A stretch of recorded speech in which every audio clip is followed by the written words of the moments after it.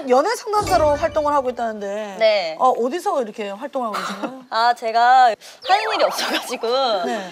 어, 저 요새 PC방을 좀 많이 가거든요. PC방을 가는데 거기서 무슨 연애 상담을 해요? 그래서 이제 그 게임을 하는데 그 게임이 이제 총 게임인데 네. 30분가량 적을 안 만나면 계속 같이 이제 대화를 하거든요. 모르는 사람들이랑. 아, 네. 아 제가 여자친구랑 헤어졌는데 지금 깨똑이랑 전화를 차, 차, 차단당한 것 같아요.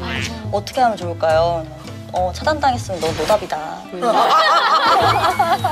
저도 나은 씨랑 친분이 있는데 연애 상담해요? 연애 상담을 잘해요. 맞아요. 어떻게 네. 해줬어요 내가. 나도 해줬어.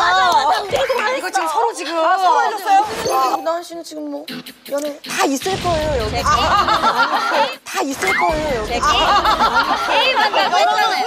언니, 다 털어내요 그냥. 언니 나 PC방 다닌다고요. 남자친구가 PC방 좋아해? 아니, 아니 그랬으면 남자친구랑 같이 했겠죠 언니.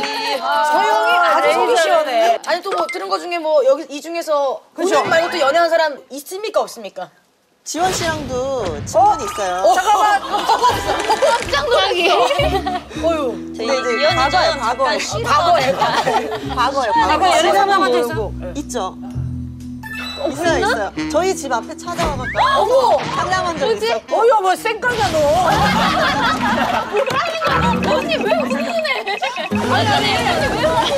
집에까지 찾아왔다잖아. 그러니까 지나, 아니, 지나가면서 이런 거면 우리가 잊을 수가 있었는데 집에까지 찾아가서 한 거는 그래 기억이건 아니 저 사실 네. 제 얘기는 다 할 수 있는데 어, 맞다. 갑자기 기억났다.